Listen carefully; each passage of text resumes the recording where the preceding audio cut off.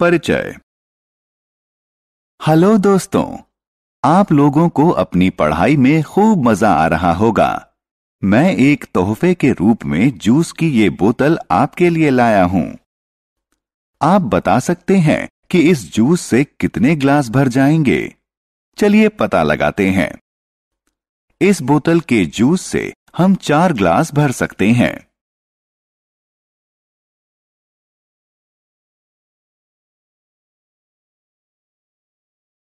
आओ सीखें। उन पात्रों की तुलना करना, जिनमें अलग अलग मात्रा में लिक्विड यानी तरल आता है। अलग अलग मात्रा वाले तरल को रख सकने योग्य पात्रों को बढ़ते या घटते क्रम में लगाना।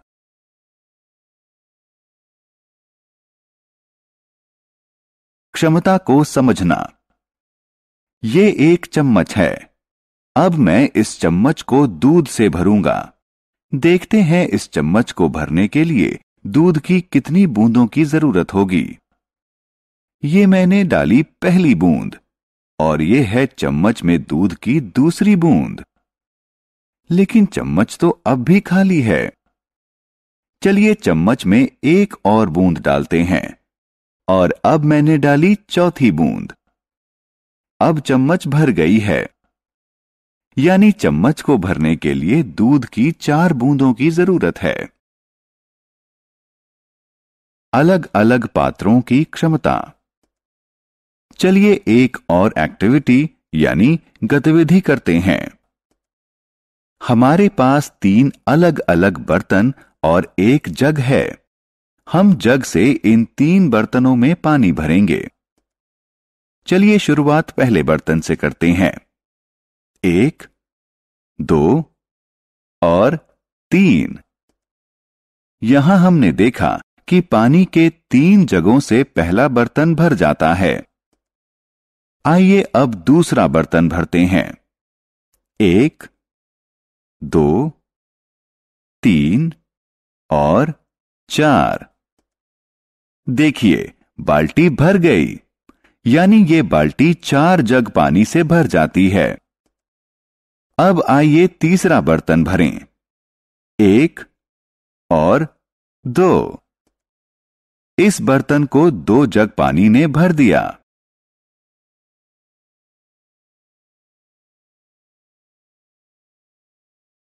अलग अलग बर्तनों की क्षमता।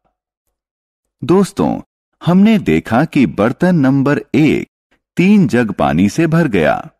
बर्तन नंबर दो चार जग पानी से भर गया। और बर्तन नंबर तीन को भरने के लिए दो जग पानी की ज़रूरत पड़ी।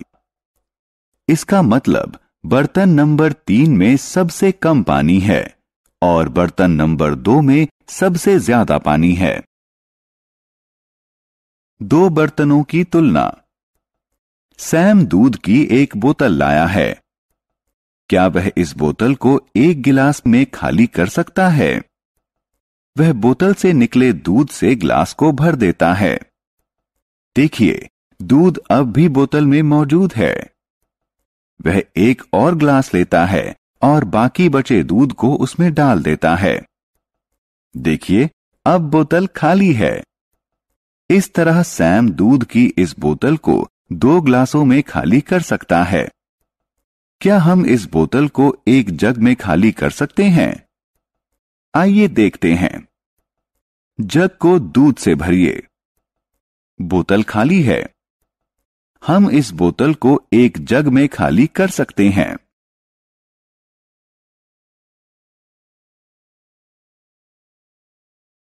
क्रम में लगाना। दोस्तों, हमारे पास तीन अलग अलग बर्तन हैं।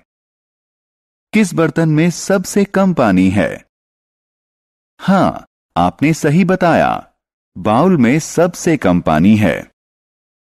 किसी जार में बाउल के मुकाबले ज़्यादा पानी होता है।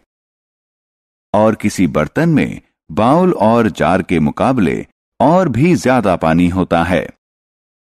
अब इन बर्तनों को बढ़ते हुए क्रम में लगाते हैं।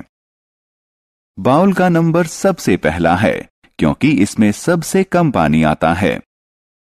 इस कतार में दूसरा नंबर जार का है, क्योंकि इसमें बाउल से ज़्यादा पानी आता है। आखिर में हम बर्तन को रखेंगे, क्योंकि इसमें बाउल और जार दोनों से ज़्यादा पानी आता है।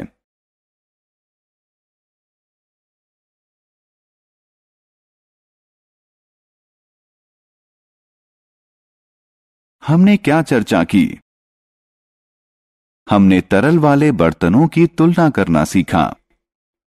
हम बर्तनों में मौजूद तरल की अलग अलग मात्रा के हिसाब से उन्हें एक कतार में लगा सकते हैं।